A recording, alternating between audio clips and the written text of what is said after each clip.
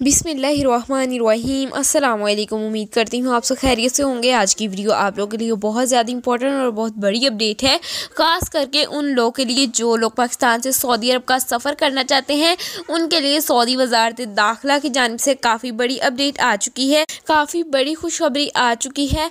इसके अलावा जो शरात हैं, वो भी ना होने के बराबर ही हो चुकी हैं तो इसकी मुकम्मल डिटेल आपको मिलेगी इसी वीडियो में। तो वीडियो पूरी देखिएगा और अगर आप मेरे चैनल पर नए हैं तो मेरे चैनल को सब्सक्राइब कर साथ में देगी बेल आइकन को प्रेस करें ताकि हमारी लेटेस्ट आने वाली अपडेट सबसे पहले आप तक पहुँचती रहे और अगर अभी तक वीडियो को लाइक नहीं की तो वीडियो को लाइक कर दें और शेयर भी लाजमी कर दिया करें। तो आप लोगों को बताती चलो, सऊदी वजारत दाखिला की जानब से जो ओमिक्रोन नया वायरस आया है, उस पर भी तफसील से बात की गई है। इसीलिए जो करंतना का शराइ थी, वो भी बिल्कुल ख़त्म हो चुकी है।